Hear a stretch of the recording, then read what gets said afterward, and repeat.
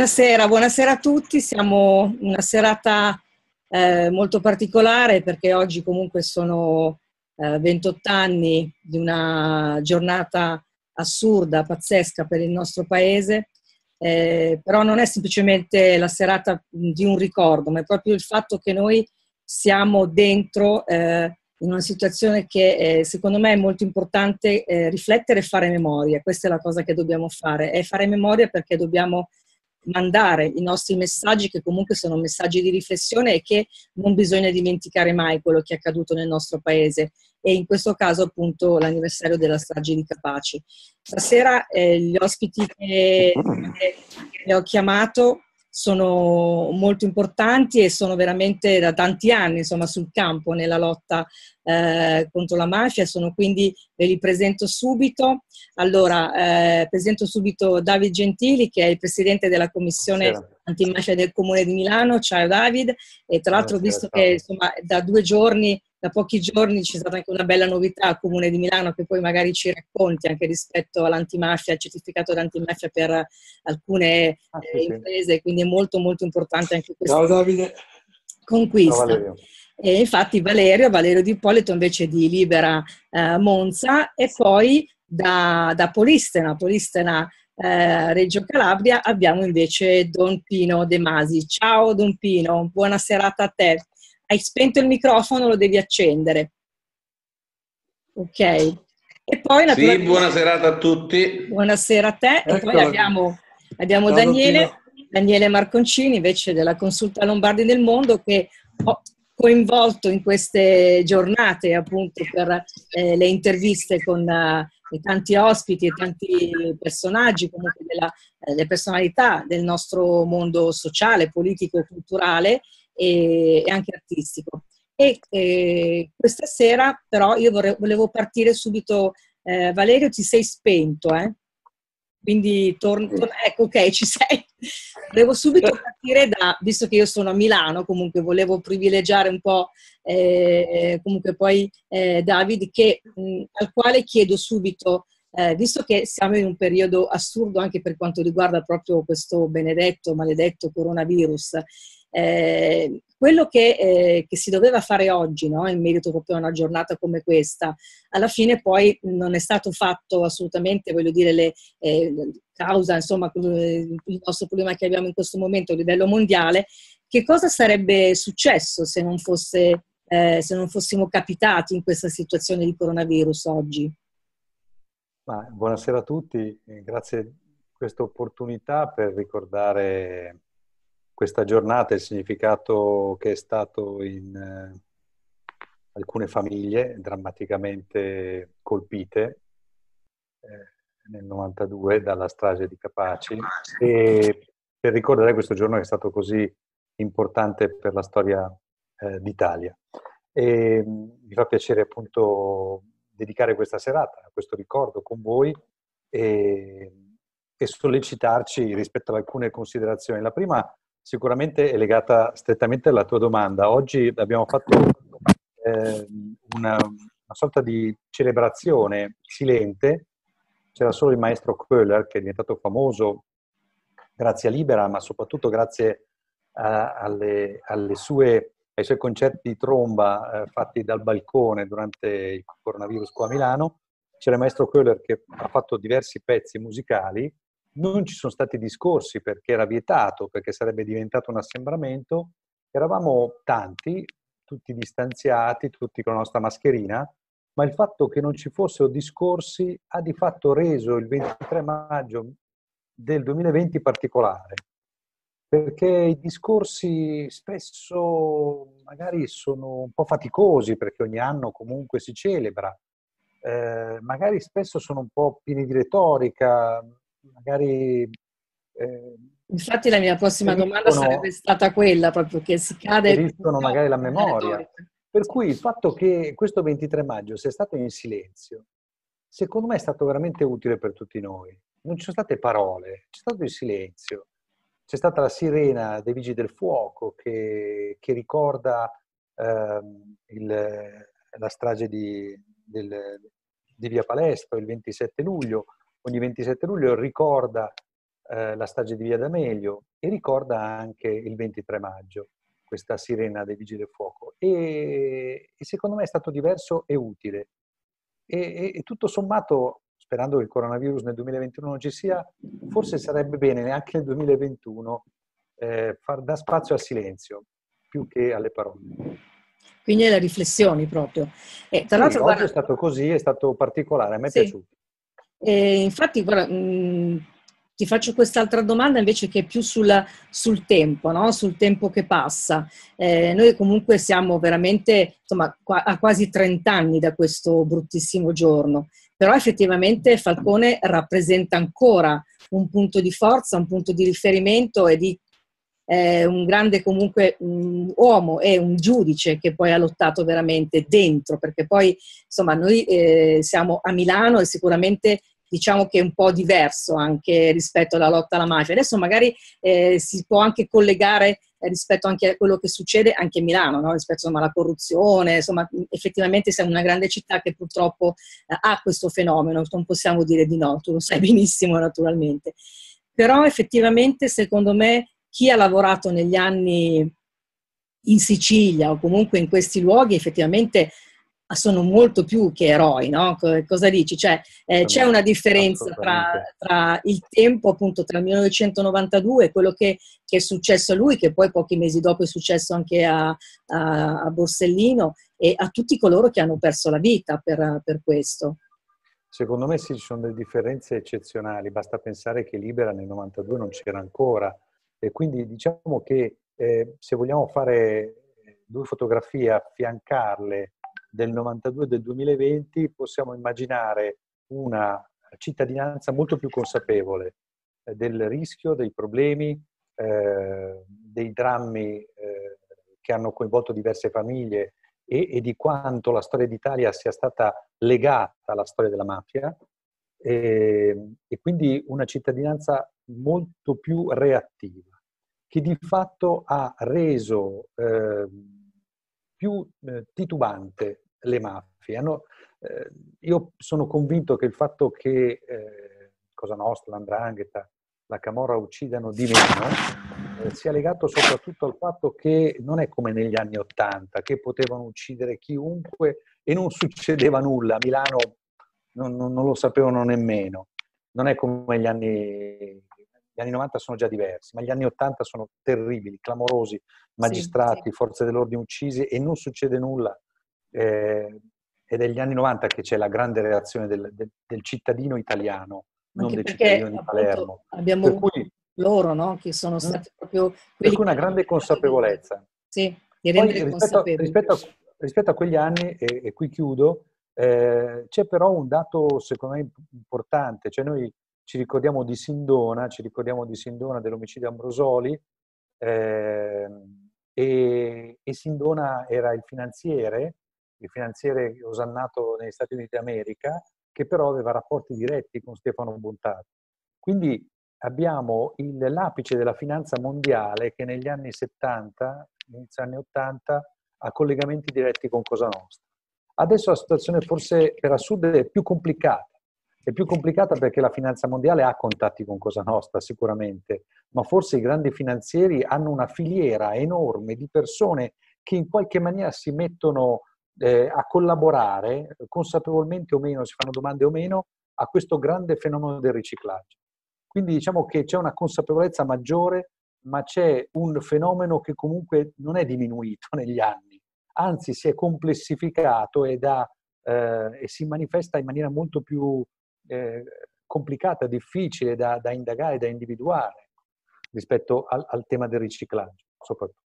Infatti una, un'operazione che è molto importante è quella che ho accennato all'inizio, se vuoi parlarne di questo emendamento al DL liquidità, proprio che è stato presentato proprio due giorni fa a Milano, no? Sì, sì, sì, un emendamento in realtà del Parlamento. Del Parlamento. Questa settimana, abbiamo, settimana scorsa abbiamo avuto questa novità importante che è questo emendamento a dire di liquidità che eh, impone l'informativa antimafia alle aziende che eh, operano anche nel catering, nella ristorazione, sempre per appalti pubblici, e anche nel settore rifiuti, in particolare nel settore delle bonifiche. Per il momento l'informativa antimafia era legata al trasporto terra, in olio a caldo, in olio a freddo, ehm, eh, alle forniture eh, di, di, di, di, bitume, eh, tutto al ciclo della terra. Adesso con questo emendamento che ha già avuto il parere positivo eh, della Commissione, eh, mi sembra, eh, non mi ricordo, la Commissione che abbia mm. dato parere positivo, fatto sta che dovrebbe passare anche in aula, vuol dire che le aziende che verranno eh, scandagliate dalla prefettura e che potranno partecipare agli appalti saranno un numero maggiore e ci saranno delle filiere intere che verranno scandagliate con maggiore intensità e che, e che, che, che potranno quindi essere bloccate prima ancora di, di, di entrare nel, nel cantiere. Eh, a, questo, a, questa filiera dell'informativa antimafia sono legate le whitelist della prefettura, cioè l'elenco di aziende sane, libere da tentativi di infiltrazione mafiosa, che è un, una miniera ricca di, di, aziende che potrebbero essere anche eh, individuate nei contratti privati e che devono essere per forza eh, scelte nei contratti pubblici, le aziende libere da tentativi di infiltrazione mafiosa. Questo emendamento amplia i settori in cui l'informativa antimafia verrà applicata in maniera sistematica. Grazie. Volevo passare quindi a, al sud su, adesso con, con Don Pino, perché stiamo parlando appunto di Milano e, invece è un grande esempio di lotta sul campo, proprio sul territorio da tantissimi anni, proprio la fa Don Pino. Effettivamente, se vuoi raccontare a chi ci ascolterà, a chi ci vedrà, come è cominciata la tua battaglia contro la mafia? Sì, buonasera a tutti intanto. Ecco, io credo vorrei fare prima due precisazioni eh, sulla giornata di oggi, eh, la memoria, ecco che cos'è la memoria per noi? Eh, Saveria Antiochia, madre di Roberto, agente di polizia ucciso nell'85 a Palermo mentre scortava Ninni Casterà, ha detto che quando uccidono tuo figlio è come se sparassero su di te. Allora la memoria è una memoria viva, è quella di una comunità che sente la violenza sulle vittime sui loro familiari come una violenza inflitta su tutto il corpo sociale. Per cui oggi non è una giornata di celebrazioni, è una giornata di, di riflessione, una giornata di, farsi carico, di un farsi carico eh, di questa situazione eh, che mi porta quindi all'impegno. Quale impegno? Eh, è l'impegno anche qui, io credo che è giunto il momento di fare anche una narrazione diversa sia delle mafie e sia dell'antimafia cioè non è più sufficiente né accettabile parlare delle mafie come di un fenomeno esclusivamente criminale, senza mettere in luce in realtà le radici sociali, le radici economiche e le radici politiche. Oggi il problema veramente grave nel nostro paese è questa commistione che c'è tra mafia e corruzione, eh, è una commissione che si manifesta come un intreccio di criminalità organizzata, di criminalità politica, di criminalità economica. Allora se partiamo da qui, eh, allora comprendiamo anche che tipo di impegno eh, eh, dobbiamo metterci oggi. Ed è un po' il discorso che io personalmente, ma più che aiutato da Libera, eh, sono stato un po' uno tra i primi che eh, aderito a Libera e ho fondato anche qui in questo territorio la, la seconda cooperativa in Italia che è andata a lavorare sui terreni confiscati, la prima in Calabria, la Valle del Marro. Ecco, se il problema eh, non è più quello antico, se la mafia non si presenta più come la mafia delle stragi, la mafia che uccide le persone, quindi la mafia criminale, ma si presenta invece in un modo totalmente diverso, eh, e allora è chiaro che noi dobbiamo lavorare in modo diverso. Allora l'azione, la mia esperienza qual è stata? Un'esperienza che è iniziata appunto insieme a Libera all'indomani delle grandi stragi, perché Libera è nata all'indomani delle grandi stragi. E, ed è un impegno che è nato sul territorio, un territorio, quello della Calabria, dove eh, la mafia, le mafie, l'andrangheta ha lasciato il segno eh, dove proprio eh, schiacciando la dignità delle persone e quindi dinanzi ad uno Stato assente che non ha tutelato i diritti del cittadino, l'andrangheta si è presentata invece come colei che era in grado di tutelare i diritti del cittadino, cosa non vera, perché eh, noi sappiamo che eh, non è così, la mafia non dà lavoro, la, la mafia non dà diritti, fa finta di darlo, ma poi eh, si riprende il tutto perché ti, ti riprende la vita. Allora il lavoro che noi abbiamo fatto è stato su due piani. Un lavoro innanzitutto di coscientizzazione delle persone, perché la mafia cerca denaro e potere, utilizza la violenza, ma utilizza soprattutto il consenso dei cittadini. Allora si tratta di, di lavorare proprio su questo, togliere il consenso e allora aiutare il cittadino a voltare pagina soprattutto nel cervello, cioè lasciandosi alle spalle la mafiosità dei comportamenti, che è quella che di fatto diventa il terreno fertile per la mafia criminale. E abbiamo lavorato su, su questo punto soprattutto. Abbiamo iniziato con i ragazzi, eh, con i ragazzi in una situazione anche di povertà educativa, che oggi era uno dei dei, dei, punti purtroppo più forti in senso negativo, cioè questa mancanza eh, di, di, cultura e di educazione reale, proprio di povertà, e c'è una povertà educativa che, face, che faceva spavento e continua a fare spavento. E lo abbiamo sperimentato anche in questo periodo di coronavirus, quando tanti ragazzi eh, sono rimasti fuori dai circuiti eh, della scuola a distanza, no? proprio perché non avevano gli strumenti in mano. E, e allora abbiamo iniziato su questo lavoro, abbiamo eliminato un lavoro di coscientizzazione, abbiamo poi, ecco, siamo passati al secondo aspetto. La coscientizzazione e la memoria ti deve portare all'impegno. L'impegno quindi deve lasciare il, il segno. E allora abbiamo iniziato con i segni. E i segni noi li abbiamo, abbiamo trovato l'opportunità per realizzare i segni nell'utilizzo dei beni confiscati. La piana di Gioia Tauro che non è la piana dei mafiosetti da strapazzo, ma è, è la mafia dei Piromalli, dei Molè, è, è la mafia degli Alvaro, eh, dei Pesci, dei Bellocco, cioè nomi che oggi, se andiamo vedendo, eh, ce l'avete tutti al nord o all'estero, hanno in mano l'economia. Non hanno in mano la rupara, hanno in mano certo. l'economia.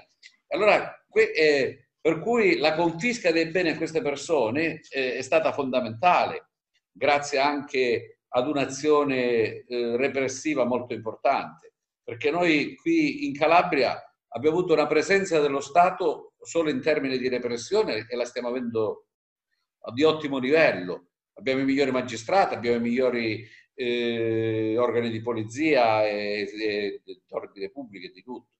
Eh, però non abbiamo la tutela dei diritti. Ecco, allora l'utilizzo dei beni confiscati ci ha permesso e continua a permetterci anche di tutelare la dignità della persona, la dignità dei giovani attraverso il lavoro. E allora l'utilizzo oh, dei beni confiscati, che vi dicevo sono moltissimi qui nel nostro territorio, eh, insieme alla Sicilia alla Piana di Gioia Tauro il, sono i territori che hanno maggior beni confiscati, noi abbiamo iniziato a utilizzarlo. Allora, utilizzare i beni confiscati cosa ha significato? Ha significato tutelare la dignità di alcune persone attraverso il lavoro. Lavoro non solo nei, nei campi, quindi non solo cooperative agricole, ma anche l'utilizzo dei palazzi.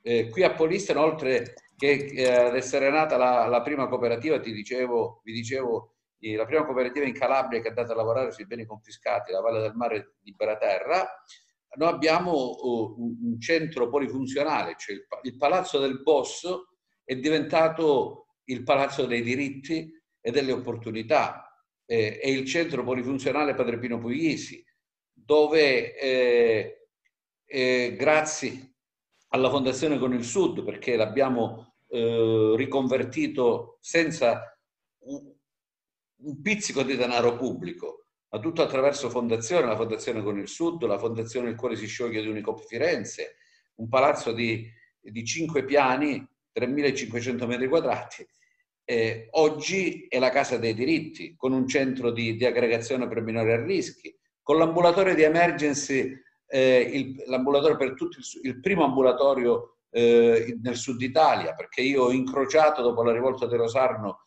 eh, dei migranti Gino Strada e quindi ho fatto questa proposta ed è nato dopo il primo ambulatorio che è nato a Porto Marghera, eh, è nato qui a Polistena eh, per la salute dei migranti ma anche dei cittadini che eh, non sono in condizione perché qui eh, la salute è una chimera. Eh, abbiamo addirittura nella piana di Gioia Tauro eh, costruito la prima chiesa al mondo sul terreno confiscato. Eh, tanti palazzi nella statale 111, che era la statale a Gioia Tauro, dove la mafia dei sequestri aveva investito in cemento armato, oggi eh, quei palazzi sono abitati da ragazzi, sono abitati dalle forze di polizia. Eh, allora tutto questo ecco, ha significato una rivoluzione, ha significato una nuova narrazione dell'antimafia. Quindi non un'antimafia parolaia, ma l'antimafia sociale. L'antimafia che tutela i diritti proprio dove lì la mafia li ha calpestato grazie all'assenza dello Stato sociale. E quindi il nostro lavoro oh, va in questo senso. Ecco perché ti dicevo, la memoria per noi è una cosa importante. Non si tratta di celebrare. Del resto, la prima scommessa che ha fatto Libera insieme a quella sui beni confiscati è stata proprio la memoria. Il grande eh, progetto di Libera è stato qui proprio sulla memoria e sui beni confiscati. Il riunire quelle persone, i familiari delle vittime, andare a scovare le vittime, i nomi delle vittime, le loro storie, farli emergere, mettere insieme i familiari delle vittime. Eh, qui al sud i familiari delle vittime si vergognavano dei, dei loro morti e poi e piangevano dentro se stessi, dentro chiusi a casa con un vestito nero e con un fazzoletto nero che copriva tutto il volto. Il togliere quel fazzoletto nero dal volto uh, di quelle persone, dei familiari, metterli insieme e far sì che il ricordo, la memoria dei loro cari diventasse impegno. Oggi i familiari delle vittime sono un motore importante, eh, vanno nelle scuole, vanno nelle carceri, eh, fanno la loro testimonianza nei campi di estate liberi, perché noi facciamo anche i campi eh, nei, nei palazzi confiscati e nei terreni confiscati. Eh, sono diventate quindi motore di cambiamento. Ecco perché parlavo di una nuova narrazione sia di mafie e sia di antimafie in, in, questo momento, in questo periodo del, eh, del coronavirus, nel periodo di, eh, di, quarantena, i nostri ragazzi sono stati i primi a non chiudersi in casa, ma andare in giro a portare sollievo e aiuto a chi aveva bisogno. Perché in un periodo come questo, eh, chiaramente eh, la forbice si è allargata. Chi, chi, era povero, è povero non solo economicamente, ma anche eh, in senso più lato, è diventato sempre più povero ma i nostri ragazzi hanno fatto a gara ad andare in giro. Noi abbiamo eh, un, un doblò che, che, utilizziamo con un progetto di social taxi, ma nel, in questa cittadina a girare in quei giorni insieme a, ai mezzi della polizia era solo, era solo il nostro social taxi, con i ragazzi, con i ragazzi di Libera che andavano a portare aiuto e sollievo, ecco, a tutelare i diritti dei cittadini. Ci siamo. Allora stavamo dicendo, Davide, adesso per quanto Eccomi. riguarda eh, insomma, Milano, tu ci hai raccontato che cosa è successo oggi e che cosa comunque si potrà fare in futuro. Eh, quello che, che, volevo chiederti è eh, l'impegno di, una, di, un'amministrazione come quella del Comune di Milano. Come, che, che, cosa, che, cosa, succede? Qual è l'impegno? Ma sì, oggi proprio ne avevo, ne avevo, ci avevo pensato, Don Pino l'ha, l'ha richiamato, no? il 21 marzo è dedicato al ricordo delle vittime innocenti di mafia, alla memoria, ma soprattutto all'impegno. Libera ci dice che non basta ricordare, riportare alla memoria, emozionarsi, ma bisogna assolutamente impegnarsi. E ci sono tante cose ancora da fare eh, a livello nazionale, a livello milanese. E stavo pensando proprio oggi un impegno che mi potevo prendere eh, ed è sicuramente quello di far ripartire eh, questo, lo sportello di ascolto delle vittime di usura e di estorsione che abbiamo avuto aperto fino a dicembre del 2019. Uno sportello che abbiamo aperto in collaborazione con Libera adesso Libera ha rilanciato il numero verde che accoglie le denunce dei cittadini che sono vittime eh, di, di, reati, anche mafiosi, oppure sono testimoni di reati. Eh, purtroppo da dicembre 2019 sono mancati i fondi regionali e secondo me, sbagliando, la nostra amministrazione comunale, di cui io mi assumo anche in parte la responsabilità, non è riuscita a ripartire e a rilanciare lo sportello. Adesso c'è assolutamente bisogno. Adesso perché il fenomeno dell'usura a Milano già presente si diffonderà, eh, difficilissimo intercettare le persone eh, che denunciano. Eh, abbiamo due fondazioni importanti, la Fondazione San Bernardino, la Fondazione Lombarda Antiusura, oltre che Libera, che eh, cercano di prevenire il sovraindebitamento, cercano di ehm, raccogliere le denunce e portare eh, le persone al, a, ad utilizzare i fondi che, che, la legge mette a disposizione, però bisogna veramente avvicinarsi tantissimo alle persone e offrire la possibilità. Noi abbiamo questa, questo protocollo in essere con l'ordine degli avvocati, io penso che sia una strategia utile quella di mettere degli avvocati a disposizione dei cittadini, perché i cittadini hanno bisogno di sentirsi immediatamente protetti e l'avvocato, secondo me, dà questa idea e il cittadino che fa fatica magari ad andare alla stazione dei carabinieri o, o dalla polizia, magari nello sportello del Comune di Milano con l'avvocato messo lì dall'ordine degli avvocati, ehm, diventa secondo me più facile. Ecco, bisogna rilanciare in questo momento. Quindi l'impegno che mi sono preso tra me e me, e approfitto della domanda eh, fatta da Chetti per rilanciarlo anche davanti a voi, è quello nel, nel giro del, della fine di questo mandato, ma sicuramente nelle prossime eh, settimane e mesi, perché c'è urgenza, rilanciare lo sportello, ri, eh, ripubblicizzarlo e facilitare la, l'accesso delle persone. Grazie, grazie veramente Davide, buon lavoro, insomma, grazie per tutto quello che fate con la grazie Commissione Antimafia a Milano, Comune di Milano. Grazie. Ciao. Grazie. Grazie a voi, buona serata. Ciao Davide. Ciao, ciao. Ciao, ciao Valeria. Quindi noi proseguiamo, eh, siamo stati interrotti prima, stavamo parlando con Don Pino e adesso eh, volevo appunto fargli finire quello che stava dicendo appunto dell'impegno che invece ha lui insomma da tantissimi anni per poi passare a, a Valerio. E poi insomma abbiamo un procuratore emerito della Repubblica quindi più che insomma che chiedere a lui eh, quello che eh, è l'impegno insomma di, di, di persone, di uomini come voi, uomini e donne come voi che sono da tanti anni in lotta con la mafia eh, intanto volevo appunto prima far chiudere il discorso a, a Don Pino perché l'abbiamo interrotto, si è interrotto con la connessione.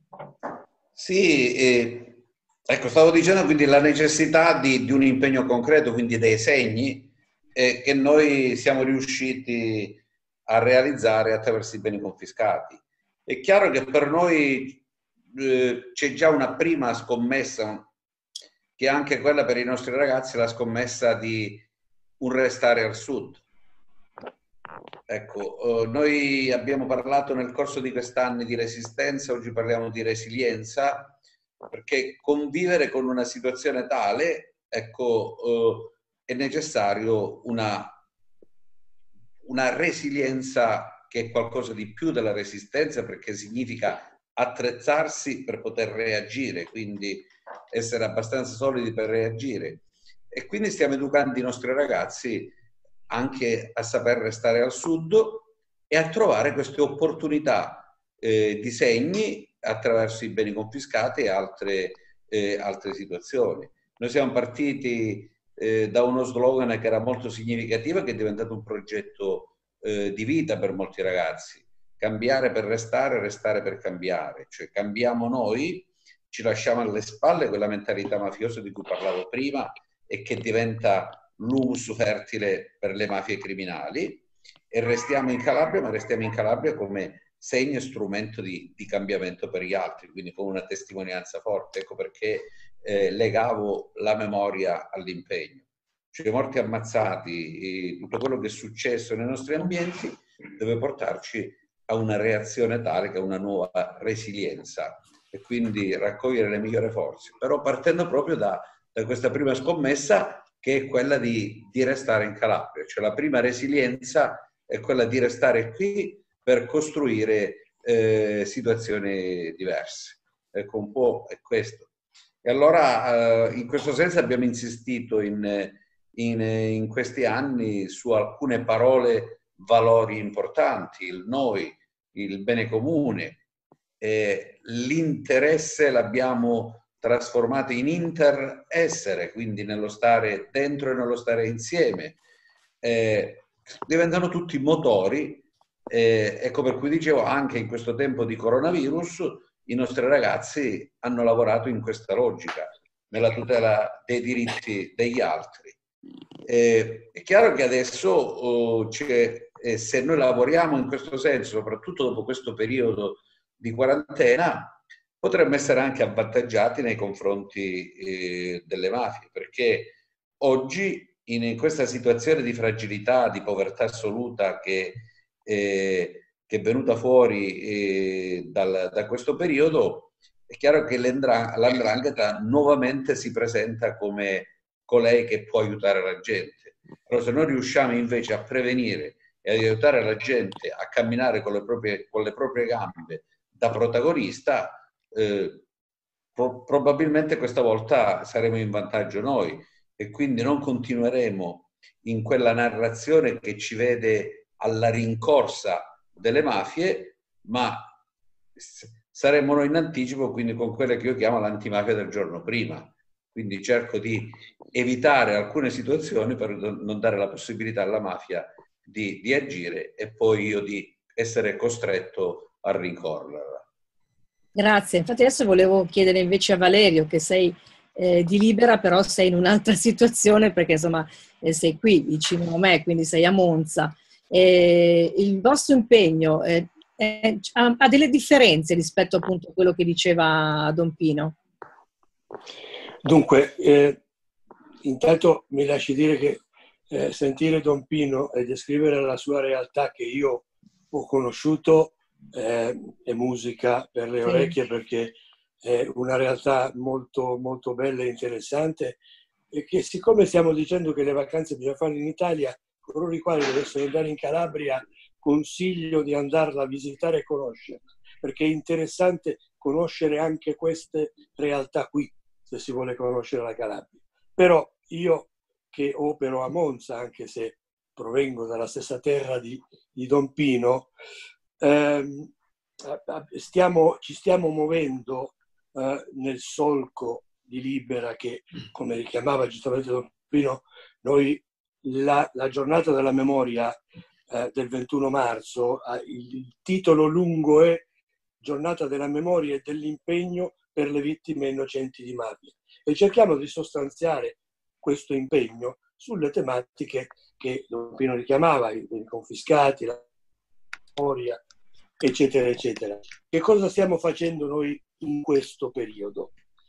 Proprio intanto, eh, proprio perché temiamo molto che questa pandemia possa essere un'occasione per le mafie sotto diversi punti di vista, non solo sotto l'aspetto eh, della povertà, dell'intervento, diciamo così, di sostegno eh, strumentale ai poveri e quindi, eh, come dire, l'inganno si ripete verso le persone più emarginate attraverso l'elargizione di favori o di sostegni di vario tipo. Ed è un inganno che gli stessi poveri poi, come ha dimostrato un po' la storia, come raccontava anche Don Pino prima, la pagano eh, questo, questo, tipo di, eh, di, elemosina, ma soprattutto, eh, soprattutto qui dove ci sono realtà che sono andate, sono andate in crisi dappertutto, ma soprattutto qui investono il loro denaro per sostenere imprese che vanno in crisi finanziaria e quindi ehm, giocare un ruolo eh, ancora eh, più preoccupante nell'economia legale da parte della criminalità organizzata. Allora eh, noi abbiamo in qualche modo considerato eh, benvenuta la, considerato benvenuta la circolare, per esempio, del Ministero degli Interi, che chiede eh, alle prefetture di sorvegliare. E qui io ne approfitto anche perché c'è la presenza del magistrato e noi stiamo, siamo convinti di questo e stiamo lavorando su questo se non possono essere a questo punto le prefetture dei luoghi di eh, coordinamento, di monitoraggio, di ehm, condivisione delle diverse branche della pubblica amministrazione affinché si osservi meglio della mafia cosa accade nel territorio rispetto a quei fenomeni che, eh, di cui accennavo prima. Noi ci siamo mossi come Libera insieme alle nostre organizzazioni chiedendo al prefetto di Monza che eh, cominciasse a sostanziare queste indicazioni che provengono dal Ministero degli Interni, eh, costruendo dei tavoli dove è possibile osservare cosa accade eh, nella compravendita delle imprese, nelle, nelle, nelle attività sulle quali eh, tradizionalmente le mafie eh, sono, eh, eh, sono, presenti, come l'usura. ecco, su queste cose qui. Noi ci stiamo muovendo fortemente su questo. È stato solo un caso, ma noi il giorno prima che scoppiasse la, la, la, la vicenda di Lodi avevamo incontrato come libera il prefetto di Monza, proprio sui beni confiscati. E passo a un altro eh, argomento che molto efficacemente Don Pino toccava prima, che sono uno strumento formidabile per contrastare la povertà, le condizioni, le, eh, i, i, problemi legati alla mancanza di lavoro, eh, eh alla mancanza di servizi, eccetera, eccetera. Abbiamo incontrato il prefetto e gli abbiamo proposto eh, di costruire insieme all'agenzia e insieme alla rete dei sindaci una, eh, eh, un momento di incontro periodico nel quale noi eh, costruiamo insieme il, un percorso per utilizzare già i beni che sono disponibili. Perché ciò che accade su questo tema dei beni confiscati, che molto spesso l'agenzia assegna al comune, chiede al comune una disponibilità eventualmente di manifestare eh, un interesse sull'utilizzo del bene, ma i comuni o non rispondono o non sono in grado di sapere che cosa fare. Allora noi stiamo cercando, anche con la prefettura, di costruire un cammino comune perché possiamo aiutare anche le stesse realtà comunali che, possono, eh, eh, che, poss- che sono destinatarie dell'utilizzo eh, dell'utilizzo di questi, di questi beni. Ecco, noi ci stiamo muovendo in questa fase con questo tipo di preoccupazione. È un'occasione per le mafie, ma può diventare un'occasione anche per rafforzare l'azione a prevenzione, come, dice, come diceva giustamente Don Pino prima, cioè l'antimafia del giorno prima, a prevenire ciò che può uh, succedere nei prossimi mesi anche nel nostro territorio. Badate bene che quando parliamo della Brianza o della Lombardia, parliamo della eh, terza regione in Italia quanto ad aziende confiscate, la terza, e la quarta regione in Italia eh, come beni globali confiscati eh, nel nostro paese. E quando parliamo della provincia di Monza, gli studi, le ricerche, eh, che fanno gli studiosi ci spiegano che in tutto il centro-nord Italia la provincia di Monza insieme ad Imperia, Milano e Torino è nella testa e tra le prime quattro province ad alto insediamento mafioso. Allora, eh, se eh, i problemi che avremo prossimi, nelle prossime settimane saranno questi, chiedo al magistrato, possono essere le prefetture dei luoghi di incontro eh, significativi per realizzare eh, momenti di monitoraggio e di osservazione del fenomeno? Lo dico in maniera forse un po', eh, non lo so, provocatoria, ma le mafie che tendono, eh, proprio perché eh, per il loro carattere, eh, a occupare ter- a dominare il territorio, lì dove si insediano, vuol dire che per dominarlo devono conoscerlo. Ecco, noi dobbiamo costruire dei luoghi dove le istituzioni, tutte, penso anche alla magistratura stessa, eh, eh, tutte devono essere in grado di leggere e di conoscere ancora meglio e prima cosa sta succedendo nel territorio. E questa è la scommessa vera che ci giocheremo nei prossimi mesi. Per questo eh, giornate come queste di celebrazione e di impegno devono costituire dei momenti di riflessione, di, di, di ricerca, di eh, strumenti e azioni che siano efficaci per contrastare le mafie, anche in un territorio della Brianza, in, in un territorio cioè dove io purtroppo lo incontro spesso, l'opinione molto diffusa è che in fondo da mm. noi questo fenomeno non c'è, o se c'è, c'è poco perché c'è qualche amministratore che si corrompe. Non è vero, non è vero sono state accolte le mafie, le mafie fanno affari eh, anche in questo territorio, quando, quando c'è una grande inchiesta come eh, eh, il crimine infinito di qualche anno fa, si scopre che dei 360 arresti la metà erano in Lombardia e di quelli della Lombardia un terzo erano in Brianza. Ecco, non scopriamolo dopo che la magistratura è intervenuta. Cerchiamo di evitare questo rischio.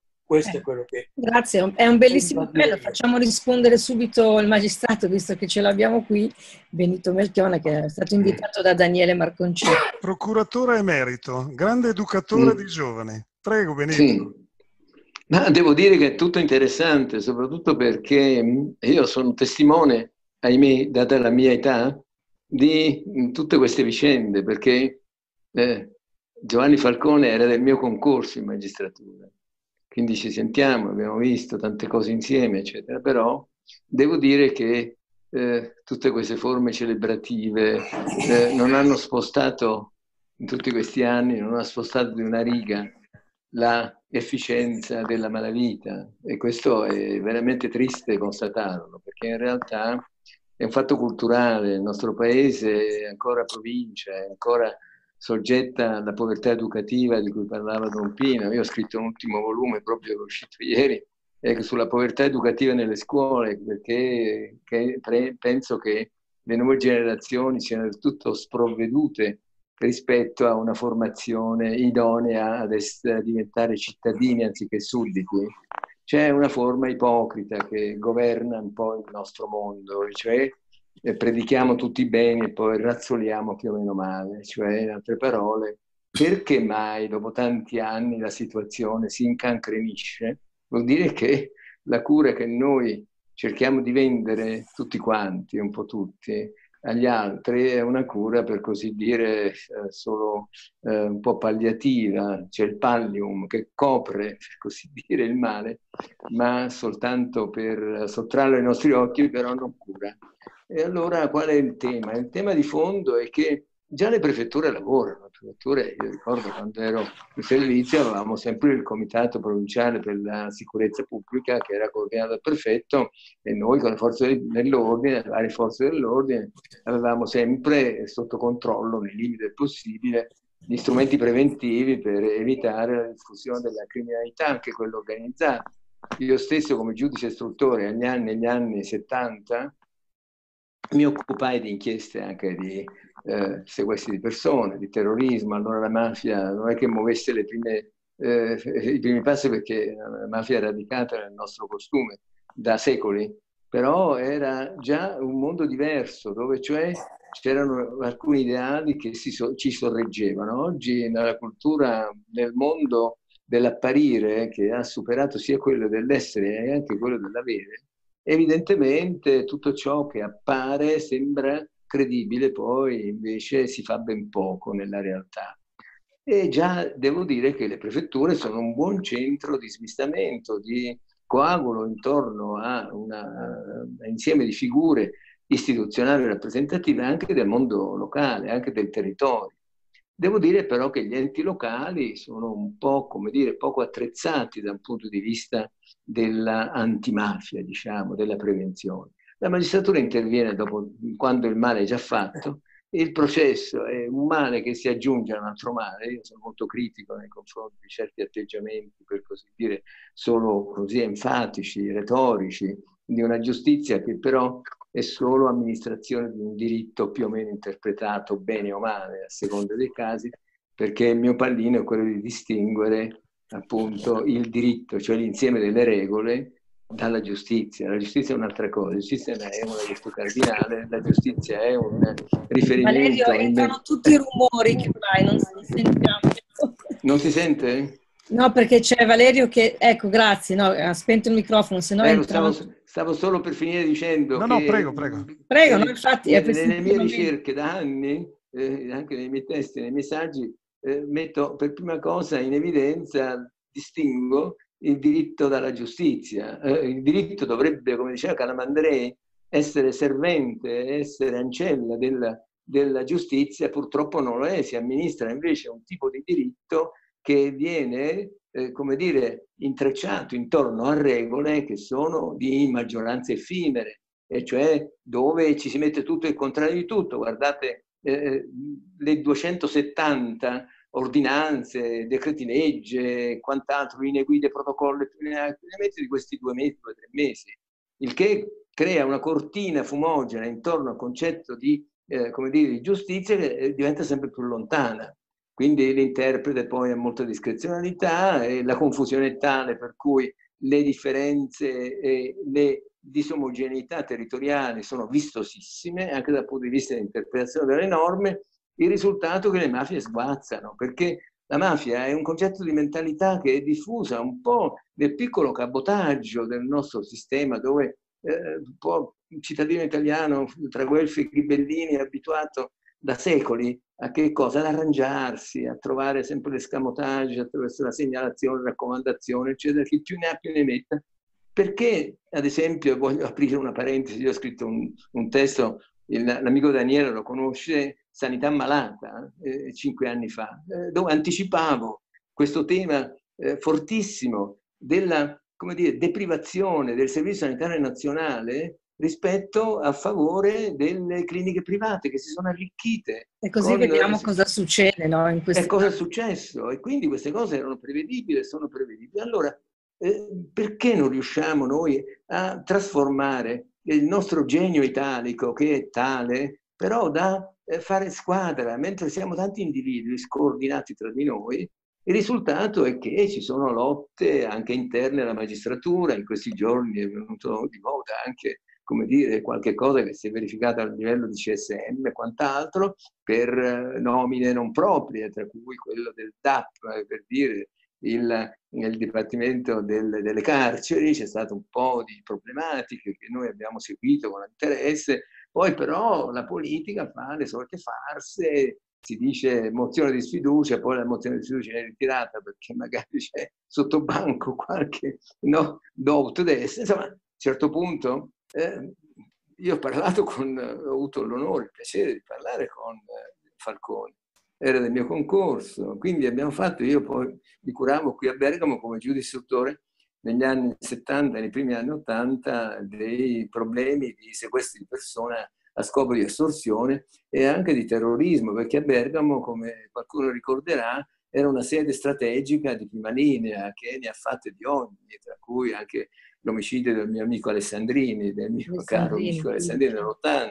E quindi per dire, avendo vissuto eh, questi lunghi decenni di travaglio della nostra dire, società che non trova una sua omogeneità, anzi si sta scordinando ancora di più perché mm, prevale l'individualismo, lo ripeto sempre. Quindi il diritto è l'insieme di, dire, di regole, di discipline che con maggioranze fittizie vengono imposte al suddito, cioè agli italiani che sono sudditi, come queste, queste for- forme anche di questi giorni che hanno violato in parte moltissime norme della Costituzione quanto a limitazione della libertà, giustificate in qualche modo, se volete, con l'emergenza coronavirus, però tutto sommato alcune lesioni ci sono verificate. Poi il conflitto anche lì tra le istituzioni, le regioni che vanno per conto loro, i comuni che vanno per conto loro, il governo che recita un ruolo di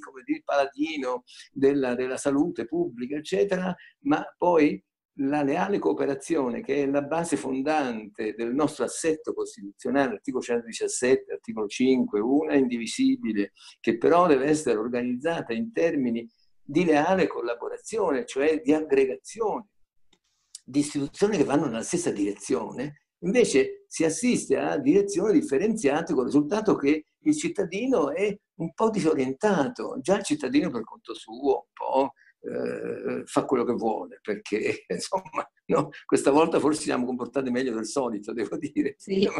devo dire, no? Però meno male. Realtà, meno male, in realtà però il cittadino va a ruota libera, poi si trova insomma un, te- un tessuto normativo e regolamentare che è così variegato, così contraddittorio e le cui interpretazioni sono ancora più contraddittorie sul piano pratico, per cui se tu sei fermato da un vigile ti dice 400 euro, sei fermato da un altro poliziotto, da un altro vigile, dice vai, vai, stai tranquillo, stai attento, insomma ci sono quelle forme così diversificate, per cui la certezza del diritto va a pallino, di conseguenza noi amministriamo il diritto ma non amministriamo la giustizia. Eh, io mi invoco sempre Calamandrei che diceva eh, questo, questo, concetto è troppo forte perché la giurisprudenza eh, deve, essere, deve essere organizzata intorno a due delle quattro virtù cardinali, la giustizia e la prudenza, la prudenza soprattutto, ma il nostro paese è ostaggio invece di questa forma quasi aggressiva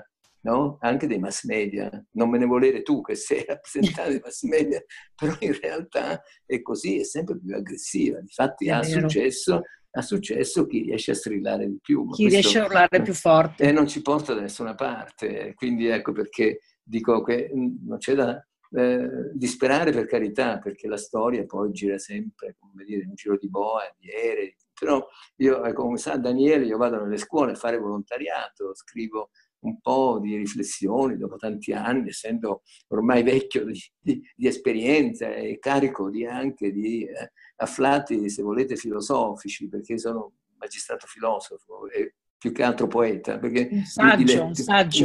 No, niente saggio, sono soltanto uno che vorrebbe dare ai giovani qualche traccia con un vecchio maestro che dice ragazzi, ragazzi non vi avventurate su questa strada che non porta da nessuna parte, cercate di essere attenti a riflettere, ad essere, come dire, a curare, a curare eh, la voglia di imparare, la voglia di eh, soffermarsi sul cuore, nel cuore delle cose, non essere superficiali. Eh, perché il problema nostro è questo, su, parliamo tutti di mafia, cioè, ma se vai a chiedere a un ragazzo cos'è la mafia, non lo sa, che cos'è eh, la legalità, cos'è la giustizia, non fa distinzione di queste cose. I ragazzi i giovani sono, vivono sull'esempio degli adulti, non è colpa loro, è il problema sì, educativo. Ultimamente, problema... giudice, ultimamente eh, dopo una, insomma, una ricerca così anche hanno fatto a Milano Università, eh, i ragazzi hanno risposto in pratica chi erano le, le, BR o comunque non sapevano assolutamente chi fossero e chi ha messo la bomba in piazza Fontana, uno ha detto il PD, cioè quindi... Eh, penso un po', sì, eh, sì, siamo eh, proprio dei livelli, no? cioè effettivamente... Quando dei deputati interrogati così per la strada dicono che cos'è il Darfur, è qualcosa che va di veloce, insomma, cosa di questo genere. No, se no è un cioccolatino, è un cioccolatino. cioccolatino oppure avete scoperto l'America nel 1840, insomma, siamo, siamo, È vero. No, comunque, grazie veramente per questa grazie. testimonianza perché ha fatto veramente... È beh, interessante, molto, molto, molto interessante. dialogare. Molto, e, molto. Senti, se, se, posso portare anche sì. il mio contributo. Sì. Certo, assolutamente. Allora, allora io vai, volevo vai, portare Daniele, il contributo ascolto. partendo da, da, un colloquio che ebbi per caso a Viadana no, con Nando Dalla Chiesa lui presentò il manifesto antimafia e il presupposto del suo ragionamento era la mafia non manda i figli ad Oxford, la mafia semplicemente occupa il territorio e lo occupa specialmente in luoghi dove negheranno fino diciamo, a, a, allo spossamento che esiste la mafia e lì spiegò la teoria del cretino, no? che è la teoria dove che, che, si adatta molto bene alle nostre zone, no? le nostre zone che sono progressiste, dove praticamente siamo tutti onesti, eccetera, eccetera, alla fine viene fuori che si è insediata l'andrangheta. E lì partì da, da, da, questo, da, questo, aneddoto. Quando un magistrato domandò a un mafioso cos'era la mafia, disse guarda c'è un bellissimo posto, possiamo mettere una, una persona nostra, una persona vicina a noi, un cretino. Noi mettiamo il cretino. Quindi allora, questa negazione no, delle nostre parti no, nel nord, così progressiva, parliamo anche dell'Emilia, sapete che Brescello è stata commissariata, quindi... Allora, tu vedi... La mitica Brescello. La mitica Brescello, no? Sì, Don Camillo. Allora, quando si parla no, di una predisposizione no, del meridionale, del calabrese, del siciliano ad essere colluso, poi vedi che delle persone, dei bravissimi commercialisti, dei personaggi no, al di sopra di ogni sospetto, il fatto di avere di fronte delle persone che sembrano onnipotenti diventano collusi e quindi noi vediamo dei bravissimi emiliani, dei bellissimi nordisti che alla fine sono collusi anche in un modo, come si diceva prima, semplicemente accettando soldi che vengono no, da, che sono soldi sporchi. Poi il tema, ad esempio, che da noi è stato molto, molto dibattuto, ad esempio, è stato lo smaltimento dei rifiuti. No? Si parla tanto no, dei rifiuti che sono finiti non in Campania, non si parla dei rifiuti industriali che sono magari finiti un po' dappertutto, anche qui nel nord Italia. No? Io lavoro in un petrolchimico, bonifica, eccetera, eccetera, ma il tema che io volevo porre è il tema dei sindaci. Io mi sono iscritto da avviso pubblico dopo che mi ero avvicinato a Libera perché hai detto, non so chi l'ha detto, i sindaci non sono attrezzati per vedere quando vi sono delle infiltrazioni. Non sono attrezzati, vengono fatti, sapete che è obbligatorio fare dei piani anticorruzione, alla fine tu capisci che c'è un insediamento quando uno che si interessa di mafia di andrangheta va a vedere nei giornali e fa la somma di tutti gli episodi malavitosi isolati che magari non vengono presi in considerazione. A Manto, ad esempio, hanno, hanno bruciato no, dei camion, oppure è stata incendiata una macchina. Allora, questo filo conduttore nessuno riesce mai a metterlo insieme. La DIA no, è, venuta, è, venuta, in Lombardia, no, era stato denunciato che l'Espo. A Manto abbiamo avuto sette casi in cui la DIA è intervenuta, tra cui nel mio comune. Ecco, anche qui però tu quando vai a domandare l'esito no, di queste indagini non si sa nulla. Quindi a volte sono andato anche dalla prefettura. Qual è l'elemento debole della prefettura? L'amico parlava della prefettura. Quando la prefettura decide, decide di non mettere in white list una lista, in lista, magari la ditta querela, no? Ha la forza economica di mettere in difficoltà la prefettura. Per cui noi abbiamo avuto dei casi in cui la prefettura no, ha avuto delle, delle situazioni in cui determinate aziende che erano indagate erano in white list, quindi non è una cosa così semplice. Quando fai la dichiarazione antimafia e dichiari di non essere mafioso, a volte mi viene da sorridere, no? Uno dichiara di non essere mafioso. Il tema vero è la finanza. La finanza che molto spesso non viene controllata perché è in mano, diciamo, a, determinati potentati. Io mi sono occupato di campagna elettorale, no? Una volta ho fatto il conto no, di quello che costa una campagna elettorale. Sembra che per diventare consigliere regionale, se tu ci metti 500.000 euro, tu sei eletto.